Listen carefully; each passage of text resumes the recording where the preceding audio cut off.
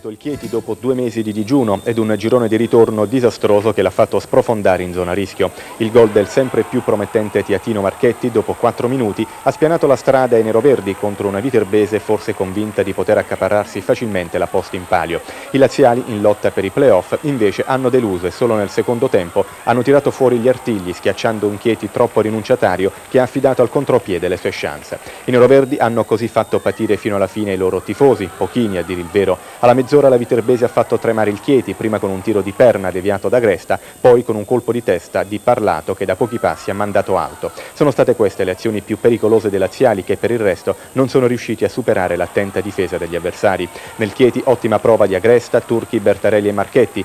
Neroverdi sempre al sest'ultimo posto, ma ora con tre punti di vantaggio sul Frosinone. Da segnalare per la cronaca l'espulsione del giocatore di riserva della Viterbese Boccia, entrato addirittura in campo per protestare contro l'arbitro, e quella dell'allenatore del Chieti, Donati. Il vice allenatore dei Neroverdi, Rossano Di Lello. Ha migliorato la situazione, però non è ancora acquisita perché non abbiamo ancora ufficialità degli altri risultati. Se così fosse abbiamo allungato sul Frosinone ed era quello che speravamo di fare. Adesso dobbiamo fare altre tre partite e saranno dure tutte e tre.